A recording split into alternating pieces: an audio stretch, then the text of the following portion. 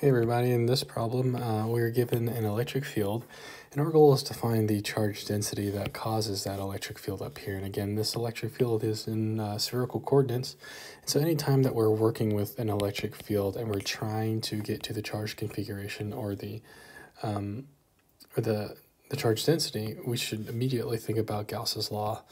Uh, probably um, one of the most recognizable ones of Gauss's law is this one is uh, the divergence of the electric field. So how much this uh, electric field, you know, diverges apart from whatever its charge configuration is. Again, it doesn't necessarily have to look like this, but um, the, the divergence of it is equal to the charge density with a proportionality fa factor of uh, epsilon here. So all we have to do is take the um, divergence of this and then solve for the charge density and uh, we got our answer. So this is, um, we did a lot of divergence, I think, in, in chapter one. So this is one of the, um, one of the times that we're going to be exercising it in uh, an actual problem.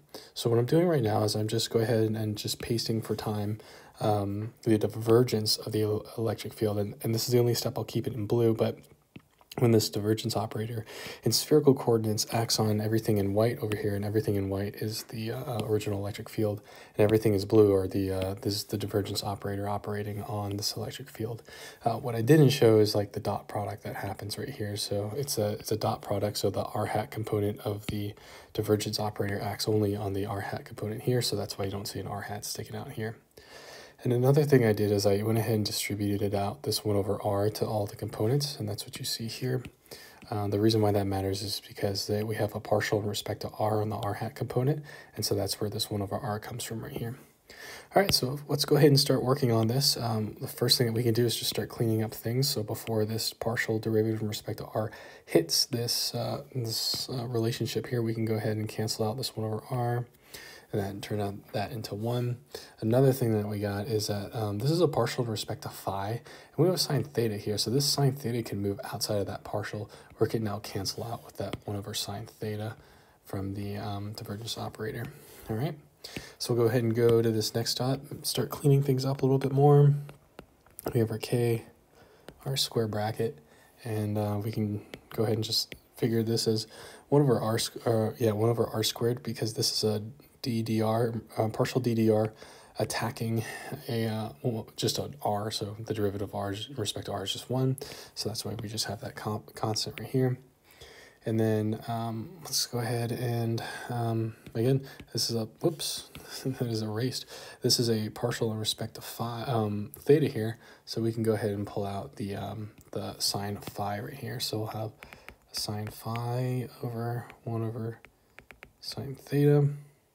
And uh, we'll just go ahead and leave our partial respect to theta right here. Another thing that we can do is, since this is a partial respect to theta, we can pull this 1 over r out. So this will turn into 1 over r squared. So we have a squared right here. Oh my god. Sorry about that. That was kind of weird. All right. Um, 1 over r squared. Oh boy, it's starting to do it. All right. So it's not a good good notes app demonstration right here. Hopefully it keeps going up. All right, so um, so now that we pulled out the sine phi and the r, we're just left with this. We can go ahead and combine these two, um, uh, one of our uh, uh, sine squares, and we can go ahead and pull out this 2 right here. So pull out that 2, put it out here in front, 2. Now we have a sine squared of phi times cosine of phi. And then finally on this uh, last one, we have 1 over r squared because we can go ahead and pull out that 1 over r here and just a partial in respect to phi of cosine phi. And I'll just go ahead and put that as, uh, um, so it's actually negative sine phi, but we'll just go ahead and move this um, negative sign out in front here. All right, so already starting to get kind of small. That's pretty good. Uh, next thing we'll really look at is this one. So when this partial attacks here, uh, we're going to have to do the uh, chain rule where we take a derivative of this uh, plus a derivative of that. Shouldn't be too bad. Square. This all largely stays the same. Can already tell this sine theta here is just waiting to cancel out something whenever it pops out. So I'll go ahead and do our parentheses and write out our uh, chain rules. So we have a we'll go ahead and do the sine squared. So derivative with respect to theta of sine squared theta is 2 sine theta times cosine. So we have two cosines now. So we'll go ahead and turn that into cosine squared um, plus the derivative of sine squared times cosine uh, cosine theta and the derivative of cosine theta is just negative sine theta so we'll just go ahead and turn this into a negative sine theta and there was already a sine squared theta over here so we'll do that into a geez a uh, sine cubed theta geez and, uh, you know, I'll wait till the very end of this. I'll go ahead and rewrite this out. All right, so what we recognize here is that there's a sine theta common to these two, so we can go ahead and factor it out. And like I said, this sine theta is just waiting to cancel out these. So this will, um, this sine theta goes to 1. This 3 becomes a 2. And um, now we can just go ahead and rewrite this everything and just let it be a little bit cleaner here.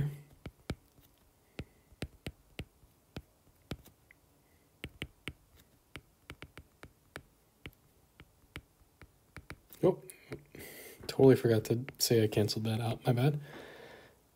So there's an r squared underneath. We're left with a 2 cosine squared theta minus sine squared of theta. So anytime that you have a cosine squared um, being added or subtracted to a sine squared of the same variable, uh, spidey senses for the double angle formula should be uh, standing up in the back of your neck.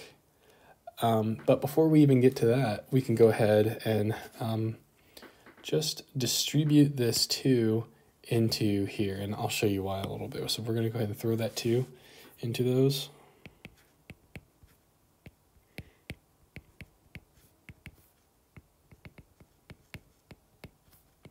So we'll have a co or a 4 cosine squared theta minus 2 sine squared theta minus 1 over r squared. I'm just, you know, just going to put this, I'm going to place this sine phi right on top of this r squared just to save me one stroke of a 1.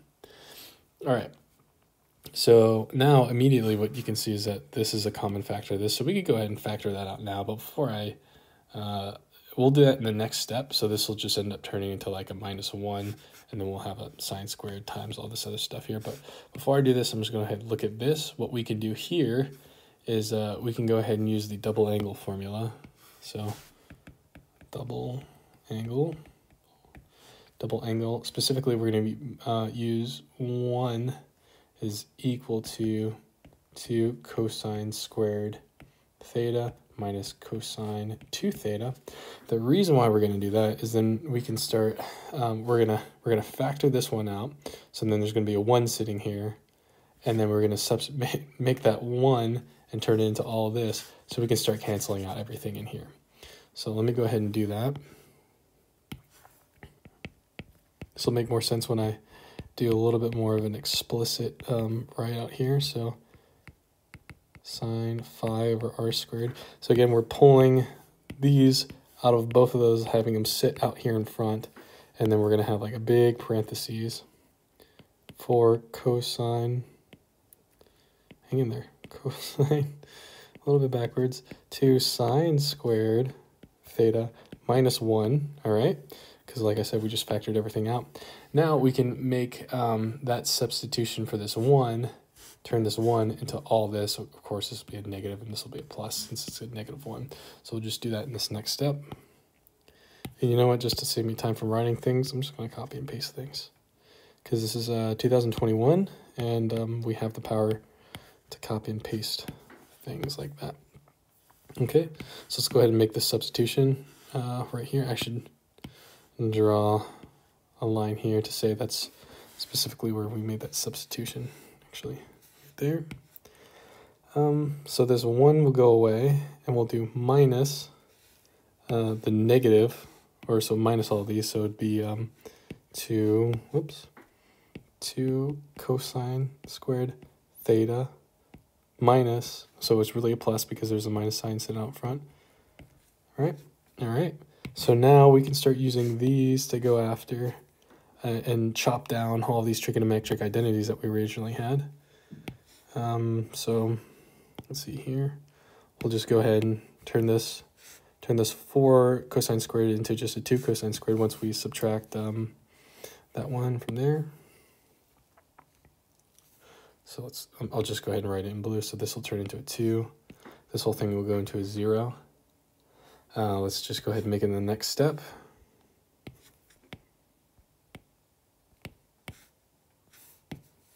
So this was a 2 now. Our, um, oops, that should have been a bracket up there, my bad, and a bracket here.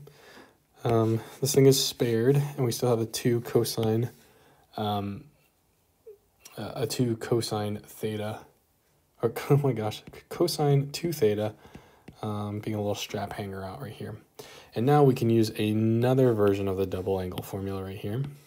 I'll go and write it off to the side here where cosine square or cosine 2 theta is equal to cosine squared 2 theta.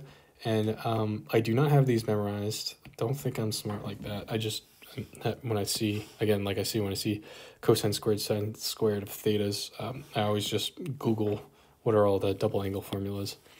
Uh, anyway, so we can just go ahead and make this substitution here where this is actually like a 2 times cosine squared of theta minus sine squared theta, right? Which just so happens to be what we have over here. So we can just combine these into 2 cosine theta, which just happens to be what we have over here. So let's go ahead and do that.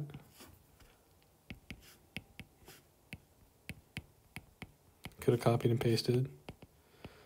But, you know, I guess we'll do all over again.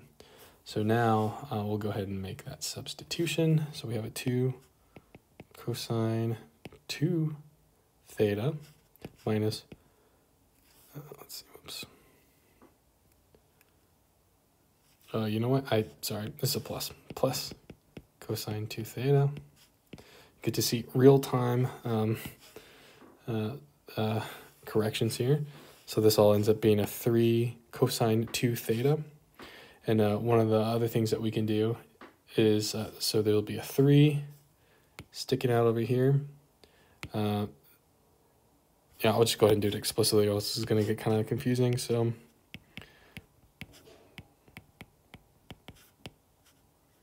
you see what I'm getting at here.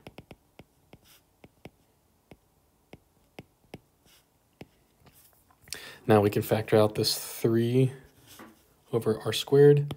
And that leaves us with something nice and pretty. So 3k over r squared, 1 plus sine phi cosine 2 theta.